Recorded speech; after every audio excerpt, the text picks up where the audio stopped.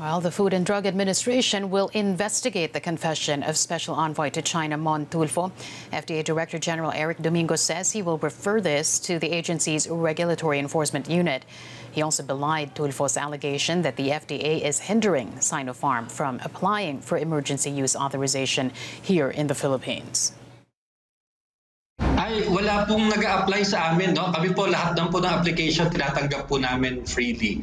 Uh, pero as, as of this na, wala pa pong nag apply At yung pong uh, Chinese government, alam ko po kasi sumulat sila kay Secretary Galvez informing him na wala silang local uh, na distributor dito. No? At uh, hindi ko po alam kung ano ang kanilang magiging application po na strategy. At hindi po namin pinipigilan. Actually, lahat po inihintay namin mag-apply dito sa FDA. Domingo also said he still has no information on the Presidential Security Group's unauthorized use of the Sinopharm vaccine because it has not responded to the FDA and the Health Department regarding the matter.